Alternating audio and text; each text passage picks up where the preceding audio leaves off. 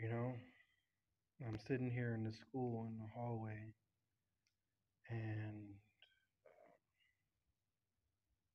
just thinking a little bit about life. I only got a few seconds on here, but I'm thinking like going through this, even the new year and last year, um, basically thinking about other people's actions and the words that they're saying and um, how they're going about living their life.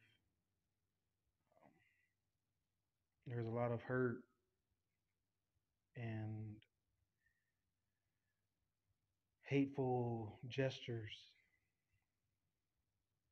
It's not good for us, and it's probably not going to build up too good. I'm going forward. So change that. Good luck.